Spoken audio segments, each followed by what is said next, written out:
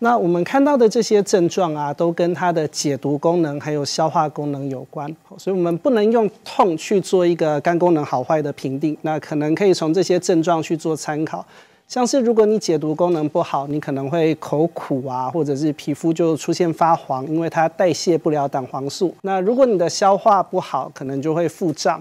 会有一些呃吃东西饱很久的状况发生。那因为这些症状常常没有特异性，不是说看到这个一定是肝有问题。而且有时候好像它时好时坏，我们就会觉得说，嗯啊会不会饮食注意一下它就改善了？对。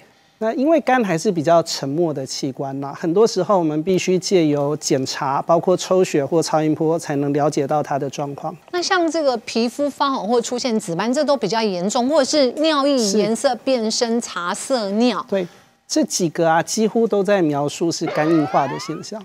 所以都比较晚期了哦。那如果就您来看，是不是这前哪前面哪几项出现之后，我们就要赶快去检查吗？对。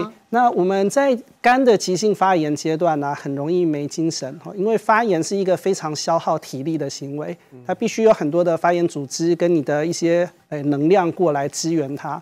那这个时候你就非常的容易累。那我好几次肝炎的患者啊，他跟我说他一天可以睡十八、十九个小时，但醒来还是累。那甚至如果你是到肝硬化的阶段，因为肝不能解毒，所以你会有一些毒素，所以会造成你的精神状况的改变。